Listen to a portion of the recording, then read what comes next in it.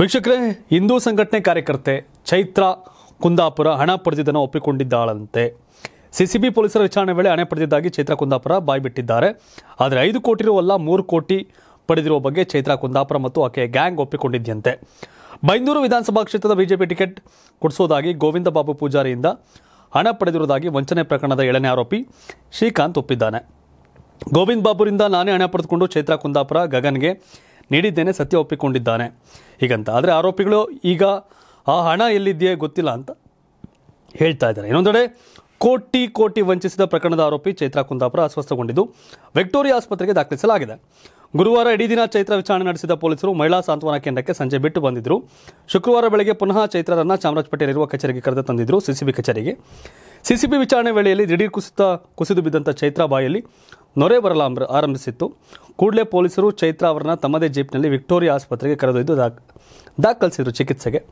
ಚೈತ್ರಾ ಕುಂದಾಪುರ ತನಗೆ ಪಿಟ್ಸ್ ಬಂದಿದೆ ಎಂದು ನಾಟಕ ಮಾಡಿದ್ದು ಗೊತ್ತಾಗಿದೆ. ವೈದ್ಯರು ಪಿಟ್ಸ್ ಇಲ್ಲ ಎಂದು ಸ್ಪಷ್ಟಪಡಿಸಿದ್ದು ಚೈತ್ರಾ ಮಾಡಿದ್ದು ನಾಟಕ ಎಂಬುದು ಬಯಲಾಗಿದೆ. ಮತ್ತೊಂದು ಕಡೆ ಈ ಬಾರಿ ಉಡುಪಿ, ಚಿಕ್ಕಮಗಳೂರು ಲೋಕಸಭಾ ಬಿಜೆಪಿ ಟಿಕೆಟನ್ನು ಶೋಭಾ ಕರಂದ್ಲಾಜೆಗೆ ಕೊಡೋದಿಲ್ಲ.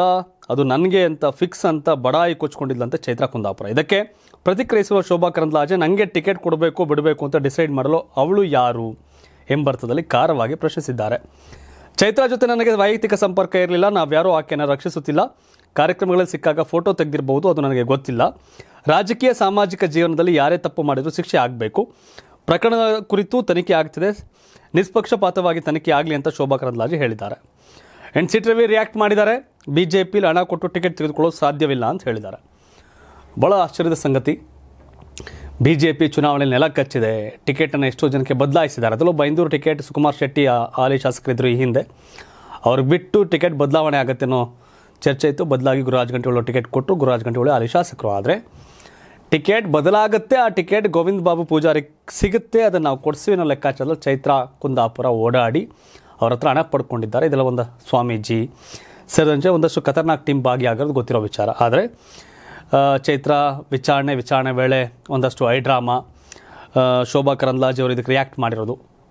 ನನಗೆ ಟಿಕೆಟ್ ಕೊಡಬೇಕು, ಬಿಡಬಾರ್ದು ಅನ್ನೋದಕ್ಕೆ ತೀರ್ಮಾನ ಮಾಡೋದು ಬೇರೆಯವರು, ಇವರು ಯಾರು? ಅಂತ.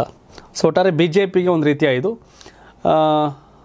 ತಲೆ ತಗ್ಗಿಸುವಂಥ ಸನ್ನಿವೇಶ.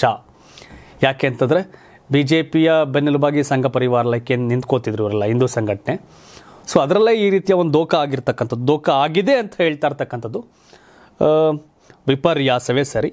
ಇದು ಬಿ ಜೆ ಪಿಗೆ ಪಕ್ಷಕ್ಕೊಂದು ರೀತಿಯ ಡ್ಯಾಮೇಜ್ ಅಂತಂದರೆ ತಪ್ಪಾಗಲ್ಲ. ಇನ್ನೊಂದು